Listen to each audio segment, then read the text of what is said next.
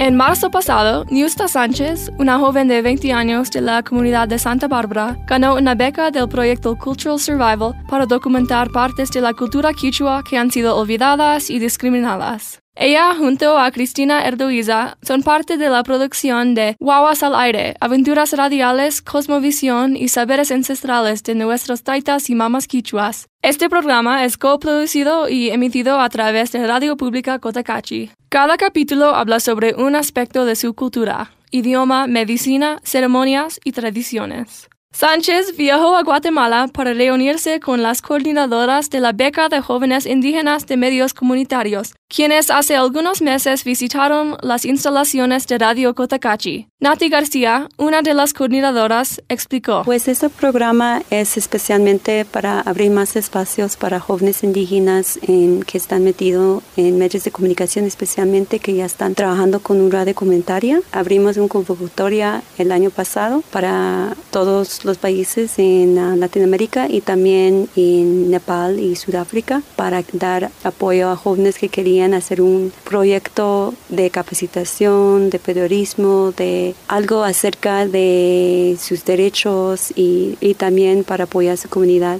Entonces, uno de los, de los becarios que estaba seleccionada era Nuista Sánchez. Ella aplicó por un proyecto para dar fortalecimiento y rescatar la cultura de Quichua que en su comunidad, y no solamente en su comunidad, en varias comunidades, y hacer como programas de radio junto con Radio Pública Cotacachi. A propósito de esta visita, conversamos con representantes del proyecto cultural. Ellas viajaron a nuestro cantón desde Guatemala, su país natal, con una que nace de la interacción entre distintas culturas, como los pueblos mayas, ladinos, cincas y garífunas. La República de Guatemala es un país en América Central con una herencia maya e influencia española, con la población más grande de la región. Tiene zonas en la costa, la selva y las montañas.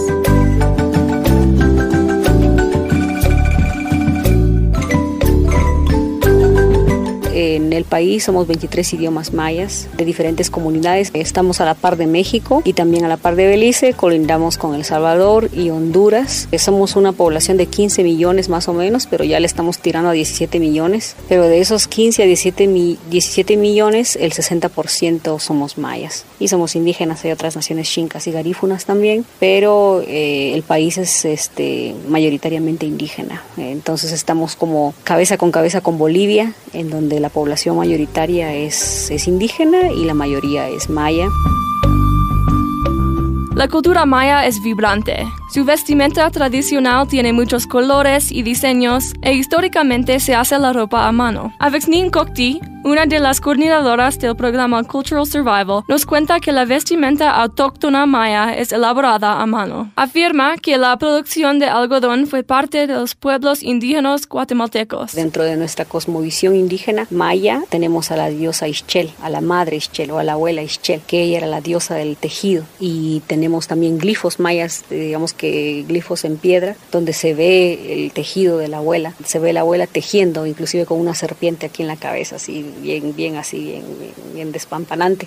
Y pues bueno, ¿qué te diré de mi comunidad? La comunidad de Chichicastenango eh, es una de las comunidades que tiene uno de los tejidos más fuertes. Eh, nuestros colores, como documentaba mi colega, al principio siempre eran negro, blanco y rojo pero era porque era la cochinilla y lo blanco era por el algodón y lo negro también era por el algodón de los chivos, lo negro por el chivo negro, el, lo blanco y lo rojo por la cochinilla por, o por las plantas que habían en esos colores.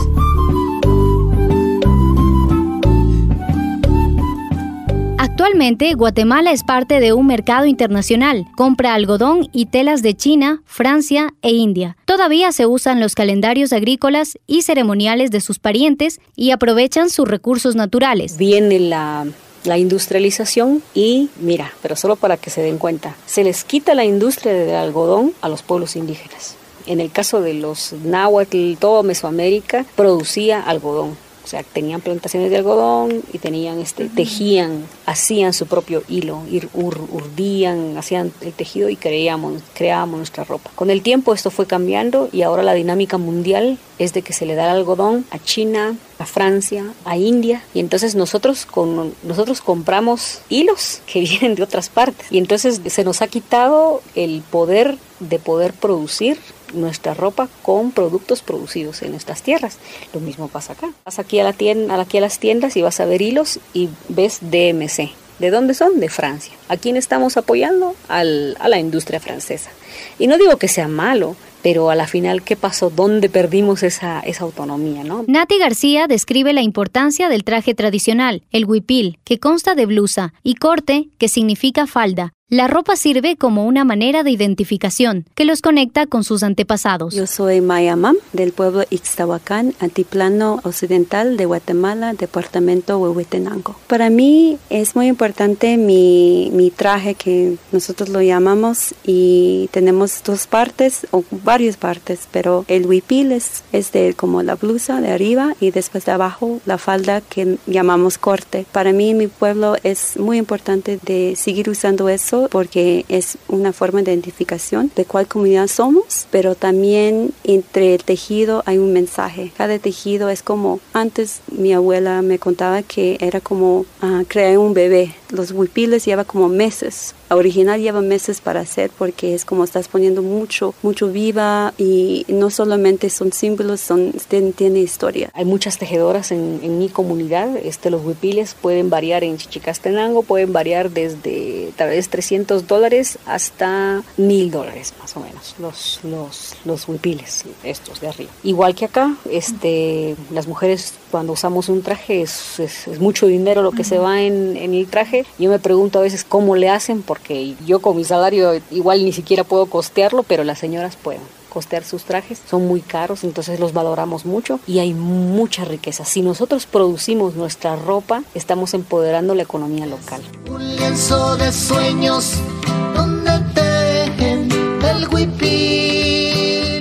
la gente maya está tratando de conservar sus tradiciones pre-españolas en un mundo donde se encuentran con discriminación y racismo. Según Prensa Libre, en el Congreso guatemalteco actual solo hay 18 indígenas, constituyendo 11.4% de la legislatura. Aunque constituyen la mayoría de la población, los indígenas ocupan menos de 12% de los asientos en el gobierno. Oficialmente, Guatemala no es un país plurinacional, es decir, el gobierno no reconoce todos sus pueblos y naciones. Como pueblos indígenas también somos los más pobres del país. Tenemos los índices más altos de desnutrición, los altos índices de analfabetismo, los índices eh, más altos también de de falta de vivienda, también son, eh, somos los que tenemos más asesinatos por eh, defensa del territorio y los recursos naturales, eh, también somos una comunidad migrante, como estamos cerca de México, hay mucha gente que migra a los Estados Unidos por trabajo porque no hay oportunidades en el país, entonces tenemos lo bueno y lo malo, tenemos mucha situación de pobreza y carencias, racismo y discriminación en el país, pero también tenemos toda esta gran cultura y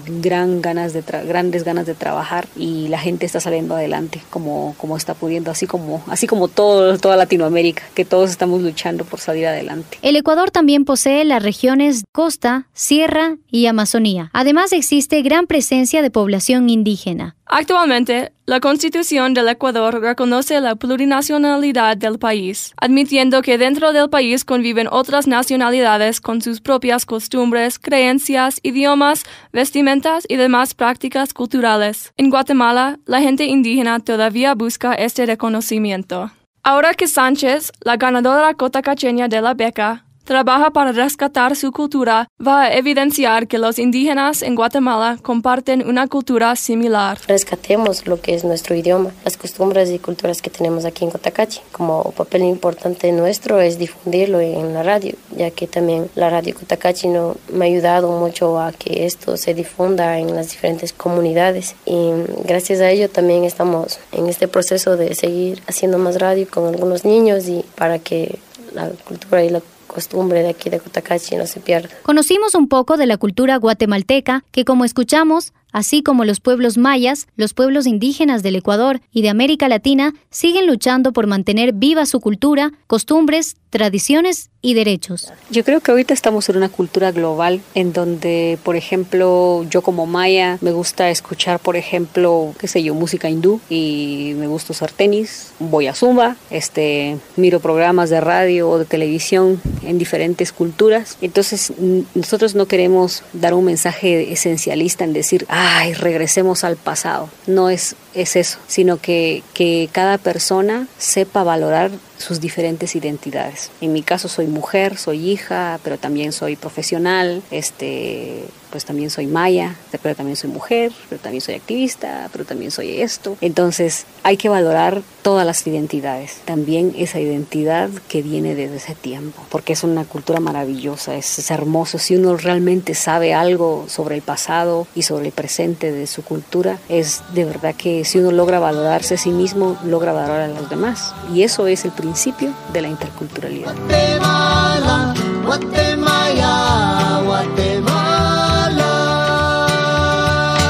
Guatemala. La indígena